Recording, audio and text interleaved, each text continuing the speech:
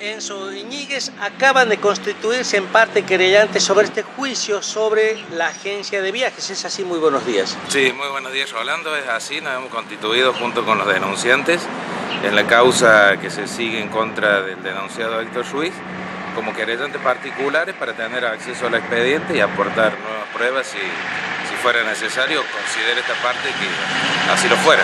La denuncia es por estafa.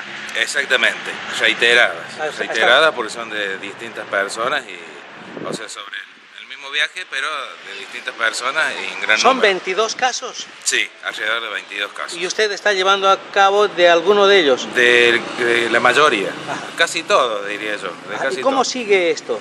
Y ahora, después de la querellante, vamos a analizar lo que hay en el expediente y a analizar si, si pedimos nuevo material probatorio. Ah. Y si podemos acercar también material probatorio. Ah, ¿Sus eh, eh, clientes han Sí. buscado algún tipo de arreglo con Ruiz?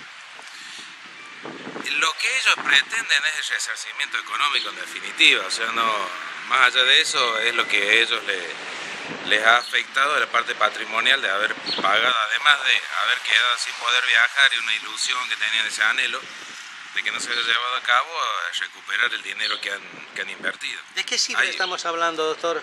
Y supera los 400 mil pesos. 400.000 Sí, pesos. Sí, supera los 400 mil pesos. Eso habrá que ver también porque si se inicia una instancia civil se podría reclamar daño moral y, y todas las consecuencias que trajo el no haber podido concretar ese viaje.